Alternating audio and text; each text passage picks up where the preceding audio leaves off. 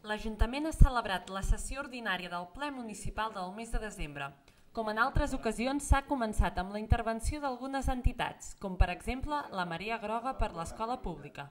El portaveu ha demanat al nou regidor d'Educació quines accions duria a terme de cara a la festa de l'Escola Pública. El curs passat ja es va fer un inici, allò va ser un embrió, i aquest any el que es planteja des de la regió d'Educació és fonamentar-ho, si, si, eh, fer uns fonaments doncs, per consolidar doncs, l'escola pública i sobretot la festa de l'escola pública. No? Llavors, més o menys, tenim l'any passat ens vam gastar, eh, segons he pogut mirar abans, uns 300 i pocs euros, aquest any tenim un pressupost de 2.000 euros.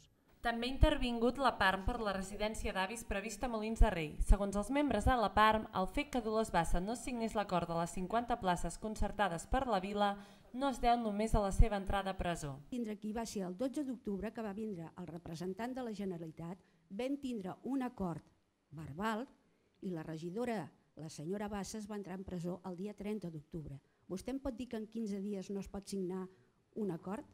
O és que va tan malament la Generalitat de personal? Digui-m'ho. Aviam, un acord de signe igual que ell va vindre aquí ja amb una proposta i el hagués tingut que portar per escrit.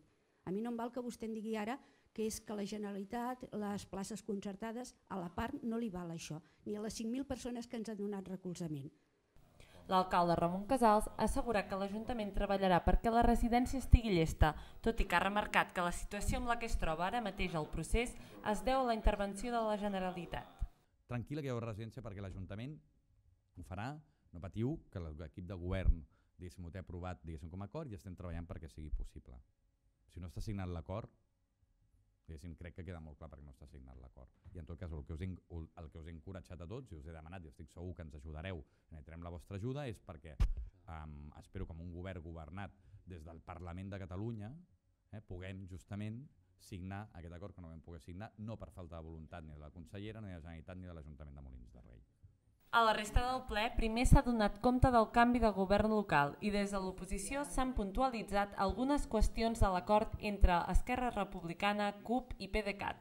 La resta de punts al dia s'han aprovat. En primer lloc, el Pla Local per la Igualtat de Molins de Rei, la modificació del reglament d'ús del Centre Cultural i Cívic de la Federació Obrera i l'aprovació del reglament del Consell d'Infants de Molins de Rei. Que ens agradarà que